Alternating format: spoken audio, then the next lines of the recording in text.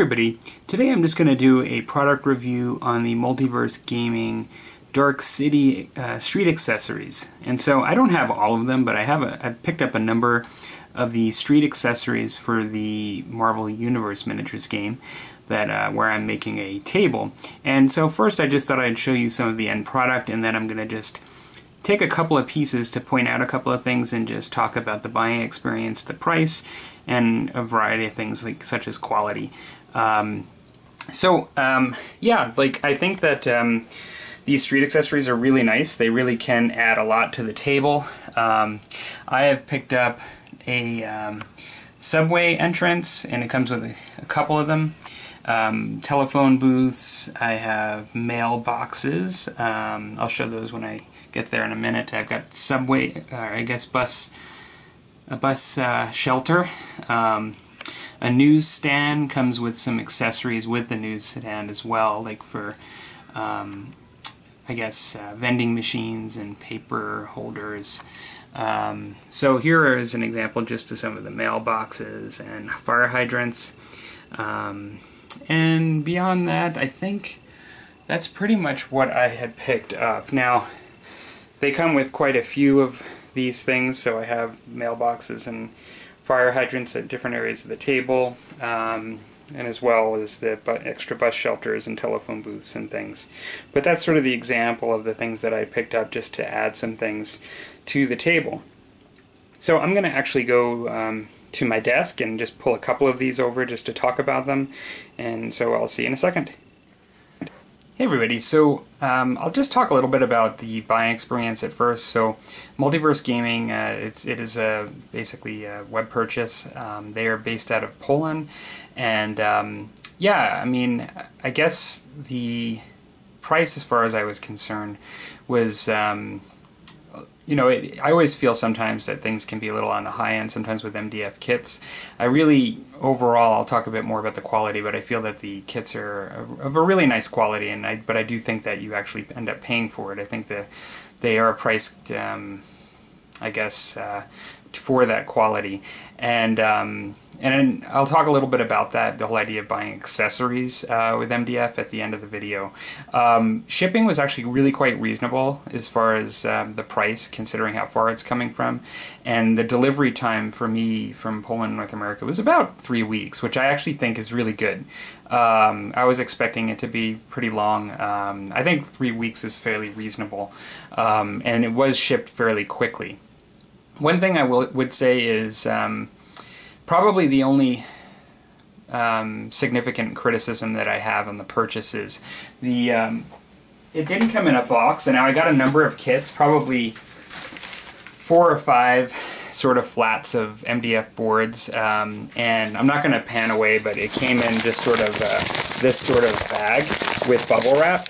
Now, nothing was damaged, and so from that perspective, the outcome was great. So I can't complain.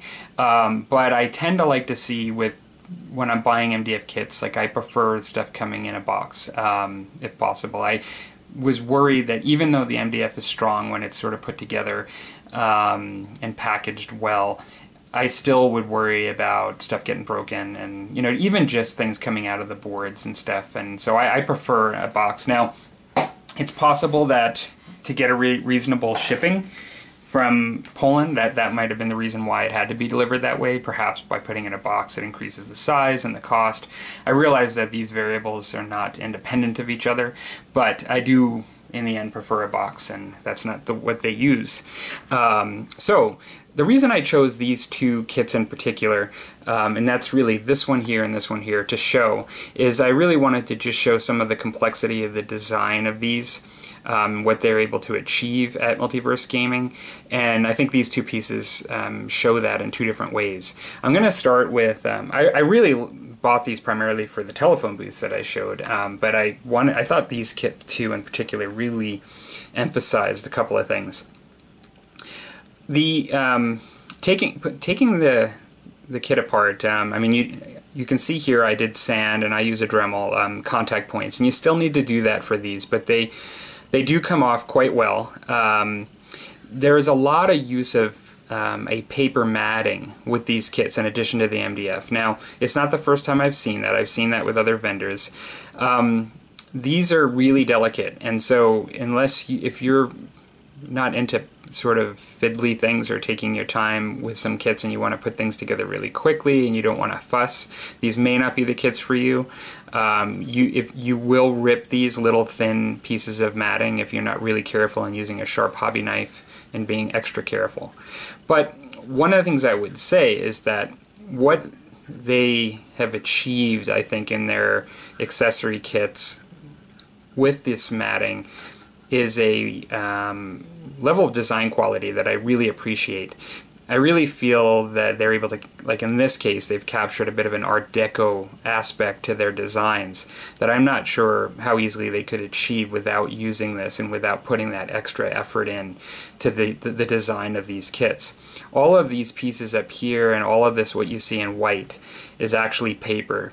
Um, it's sort of a, it's not a thin paper you would rip. It's sort of like a, uh, I don't know, a fiber type paper. It's much thinner than M- MDF, but it's like definitely more substantial than like plain cardstock or something like that. Um, it's very fibrous. Um, but if you look at here, I really love the sort of Art Deco kind of designs and what they're able to achieve with it. The kits are um, for the most part simple and i would say they have directions on their website they don't provide you with directions in the bag you do have to download them on the website but they're actually very good directions in comparison I, to other companies, a broad range of companies. Like I have experience with three or four other terrain companies, and I would say that these were the best directions that I've received so far. Um, that's not to say that there's not room for improvement. I think with terrain companies, there's always room for improvement in directions. In my experience, it can be a. It, it's one of the first times um, that I've not had a bone to pick, you know, with the directions. So that part is excellent. So moving on, um, the final piece I want to show just to um, talk about uh, the multiverse gaming kits is um, the newsstand. Now, um, the newsstand heavily uses the um, paper matting that I was talking about, and um, whether it be the MDF itself or the paper matting, this kit was really a pleasure to build, and I really felt that um, it was quite amazing, like the engineering that they thought of to put into it. Um, like whether it be the roll top with the paper matting, um, the the actual they put individual extra pieces to have um, areas where the shelf comes out here uh, for these like like sort of magazine racks, um, and that's on both sides, and even the shelves themselves inside. I really felt this was an excellent, excellent piece. I just really loved loved it. Um, it was, and it, it, went together extremely well, and it was really well designed.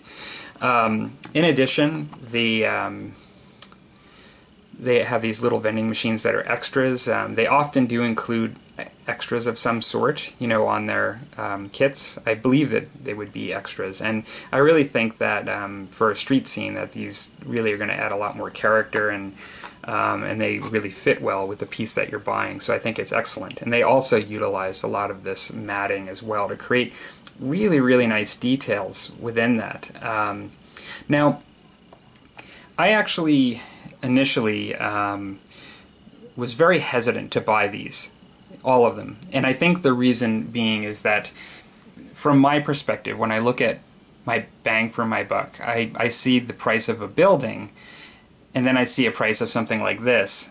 And oftentimes, for what you're getting size wise and utility wise on the table in comparison to a building, these really are, are pricey. You know, in, in the sense, in that sense, it's not you're not paying for square footage. Um, after having put all of these together and seeing the amount of time that they've put into these and the quality, and what it must have taken just from a design perspective and like the amount that that goes into something like this as compared to a building that may not have as much detail throughout the whole building but it takes up a lot more space on the table. I've really felt that um, you're getting what you pay for and, and, and you're, you're actually getting a very high quality um, scenery piece with quite a bit of detail um, for the amount of money that you're spending, which isn't insignificant. So it's really changed. You know, the, these kits really have changed my mind a bit on buying kit accessories, particularly from this company, Multiverse Gaming. I rate them very high on the quality point. Um, it isn't cheap. Um, you know, it's it's definitely priced to that quality. Delivery, in summary, was reasonable. I thought. Um, I'm oftentimes a bit hawkish, you know, uh, when it comes to delivery charges, and I can actually at times just not buy something just because I can't justify a delivery price. Um, I felt this was quite good. Um, they could have perhaps um, packaged it a little bit better to potentially prevent problems, although I didn't have any problems myself. Um, the variety and across these kits and the amount of detail was fairly consistent. I, although I really wanted to use this one as an example, I felt all of them had excellent detailing and usage of like quality features on them. And yeah, I would actually rate this company extremely high on um, on buying kits from them. I would be very interested to buy kits in the future, and it was really an enjoyable build. And at times, I do like to just get terrain done so I can get back to my painting, but I really looked forward to this. Um, it was quite a great experience. So, thumbs up for Multiverse Gaming. Uh, highly recommend their street accessories.